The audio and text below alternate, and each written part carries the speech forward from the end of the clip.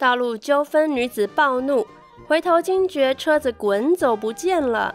一名有着轻微路怒症的女子，原本因为道路纠纷要暴怒，却被影片拍到车子自己滚走了，搞得超丢脸。根据利物浦回声报报道，Scott McReady 上周五开着卡车载着朋友，结果却遇到一个暴怒的驾驶。Scott 说，那名女子貌似因为他把卡车开进比较小条的路就抓狂了。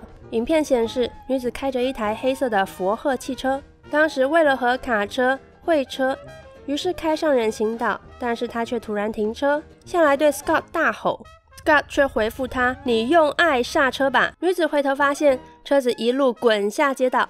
女子跟在后面狂追，好不容易在公园停下。女子又再次回头对 Scott 怒骂大吼。不过她应该觉得很尴尬、很丢脸吧？幸好意外发生时没有任何人受伤。